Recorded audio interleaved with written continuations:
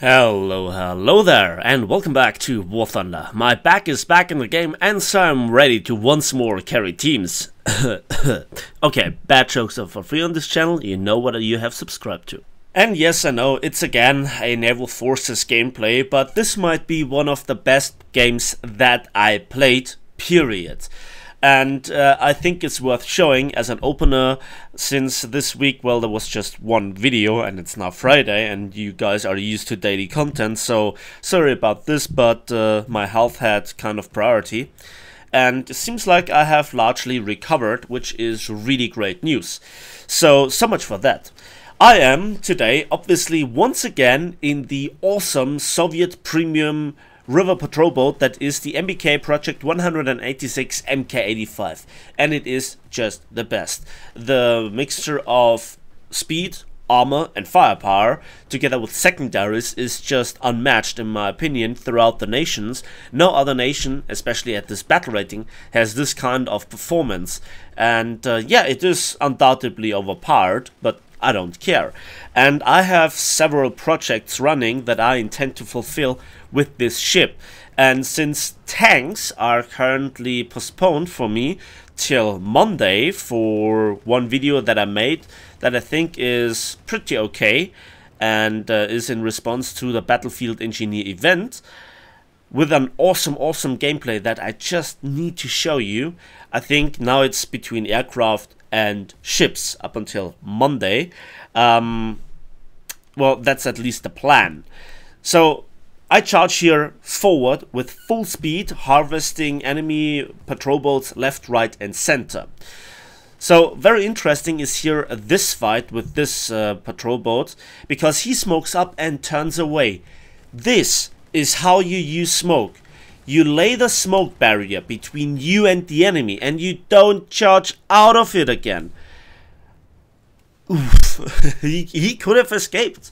And my guns have an awful lot of range to deal with pesky patrol boats. So I hit here the engine and knock it out, um, period, while I help to repair one of my teammates and now I finish him off with finally hitting the last compartment and I'm charging fearlessly through the smoke, already being first place.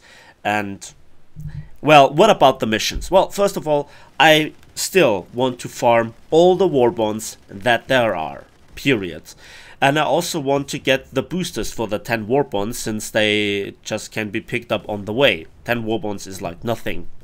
On top of this, I want to get to the Battle Trophy Vehicle 3, and therefore I also need uh, 14 special task medals. And they are, well, they cost 30 um, war bonds to unlock, and I need 14 of them, so I better make lots of them. And I already saved some 2,300 war bonds from last month to uh, also pay for the 3,400 at, at the end uh, of, well, this Warbond session, which I have 20 days left. The next thing is that on top of this, I want to just pad my stats. Yes, this is one of those vehicles where I really do it, and I have a kill to death ratio that is kind of absurd. I played 189 battles, have a 70% win ratio, and uh, while I died 183 times, I still killed 106 aircraft and 1022 ships. That's a lot, and while I did this, I always had a premium account, okay? And I often used also boosters. However, the funny thing is that I'm also working towards the ace qualification by playing for it with this premium battle rating 3.0 ship. And the ace qualification costs 960,000 research points. That's a million research points, and I had that kind of statistics, and it still will take me like 200 battles to get there. I'm 35,000 uh, RP short of it. That's nearly a million RP for a battle rating 3.0 ship. And I also want to figure out later what the difference it really makes. And this will be the first ship, period, that has the ace, that will have the ace qualification. For tanks there are multiple more and especially for planes there are also more because I think it's just easier to get with them and uh, that is just something that I wanted to point out. So now I wanted to actually go into sea. That was my plan. But it didn't work out, since I just missed the entry. And I cannot turn around, because that is one of the weaknesses of the armor scheme of the ship. The side armor with 30 millimeter, it doesn't really sound impressive, but it holds up. And uh, the bulkheads, they are the weakness, they are only 4mm strong. That is not a lot. So going bow in just helps you so much versus maybe low caliber AP that can disappears in there. However, if you angle, there is front side plating of 12 millimeters, and that will just screw with the penetration mechanics of the shells.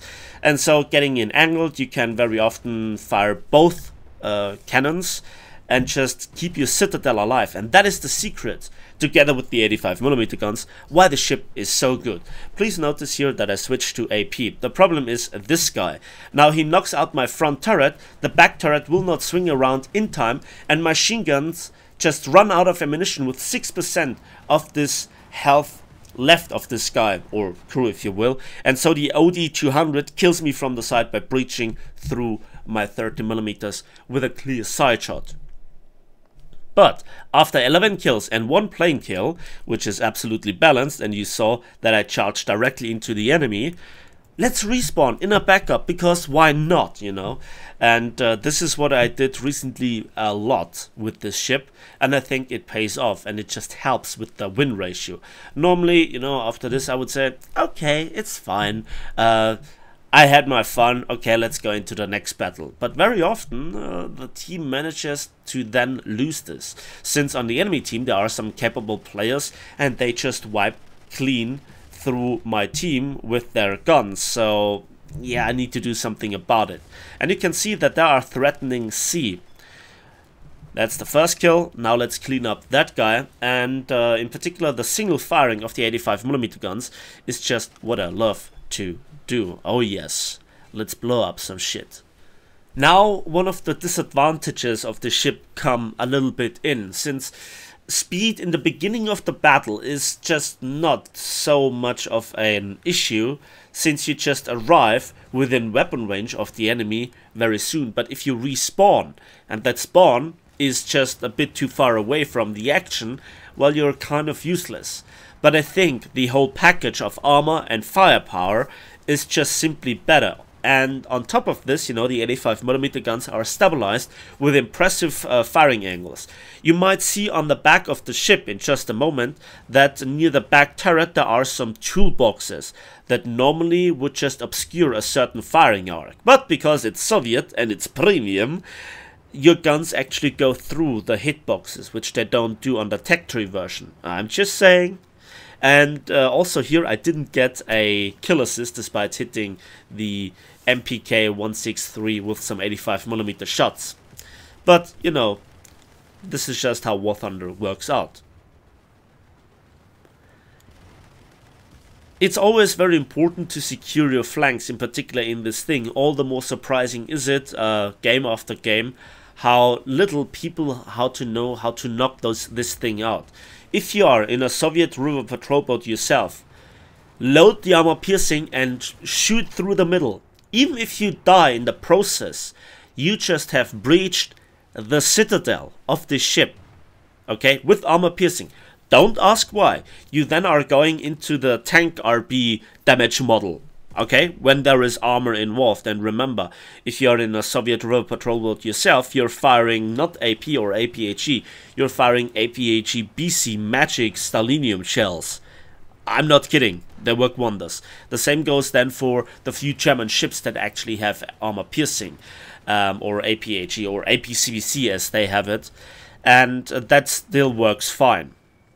And I think that the front and the stern section of the ship, they can easily be destroyed by any other ship. But as long as the Citadel is just fine, the ship won't go down. No matter how much HE or armor piercing you throw at the angled armor or the front section or the rear section. This ship is an absolute terror machine. And in the hands of a good player, it works wonders. It's just an absolute powerhouse. So here I'm single firing with the front cannon at this ship and I always look at also the hit camera where I hit the enemy and which section is there still to be destroyed. And so you can pick apart the enemies rather quickly.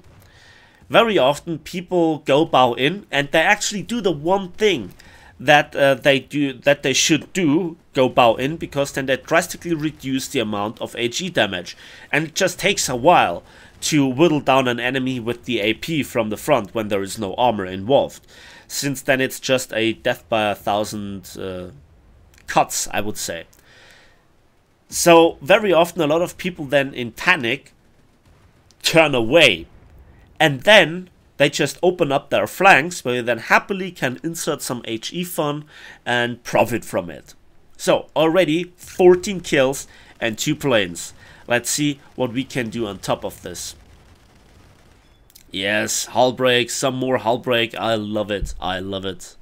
And in pure ship terms, that is a triple ace. Yes, I've died once, but hey, still, you need to get the kills in the first place. Yes, I was lucky that there was nobody else, um, you know, robbing my kills when I was just farming an enemy and that I actually got the kills and not a lot of kill assists because I had battles in the ship where I got 10, 15 kill assists and that's just really annoying. I mean, you still do a lot of damage to enemy ships and you kill a few ships here and there, in particular well, when hull broke mechanics are involved. But still, you know, to get the kill assists period, um, not just once or twice, but up to 10 15 times that's just really annoying so i wanted to share this battle with you because everything went according to plan and the initial charge believe it or not was i think the game deciding charge because I interrupted the enemy's deployment and I went in and killed somebody that was covering that was seeking cover behind the island with a big big mortar gun and just um, trying to lob shells over the island while being more or less immune than to incoming fire. And I don't know what's wrong with people in this match and their obsession with spawning into G5s or PR123s of any sort of variation and just to try to rush a cap. But I take it. So I have I had harder fights in this thing. I gunned down destroyers, believe it or not, at 5 kilometers distance. This is also something that this ship can do. And uh, it's pretty hard for them to hit you at 5 kilometers. It's possible, but uh, they also still then have to breach through your armor. And German destroyers that don't have AP, they have a hard time. With the exception, and this is pretty funny, of the K2, which now has a PT boat spawn. Because reasons. so that was one of the most glorious decisions by Gaijin when it comes to naval warfare design, but hey, who am I to judge? This is now endgame and I'm kind of bored because there are no more enemies to shoot and I think this is one of the restricting factors because I could farm enemies like this all day long. And this is now my quadruple ace, okay? 18 ship kills and 2 aircraft kills. I think that this is just amazing. So if there is any sort of fun ship, any sort of ship where you can reliably carry in, it is obviously the Russian premium river patrol boat. Because why not? And there we get it, Terror of the Sea. So sadly no survival medal, but I kind of hope that you can understand that um, I'm okay with it. Okay, and so for our quadruple ace, 18 kills and two plane kills, we got on top of three assists 159, nearly 160,000 silver lions, and nearly 15,000 modification research without any sort of booster. I think that is epic. That is one of those results that I always want to share with you, where everything went according to plan, or let's say nearly everything went according to plan. When I went back into the game after a certain break, I think this is a good way to start my rampage in naval forces once more. And uh, I told you now all the secrets about the Russian premium river patrol boats. Use that knowledge. Try it out. Try it out in a custom battle with your friends. It's the armor piercing to the center of the ship, which sounds kind of obvious, but yeah, now you have known it, and uh, with uh, 19,427 ship damage and 4,351 score points, I think I earned first place. That is something that you don't even see very often in cruiser fights. so that is one hell of a result. And um, yeah, it just played very well. That that was enough for me to shoot in the first place that's enough for me today. So thanks for watching. Thanks for listening. Please give this video a like if you did, subscribe if you want to see more, and we'll see each other in the skies, on the battlefields, and on the waves of War Thunder.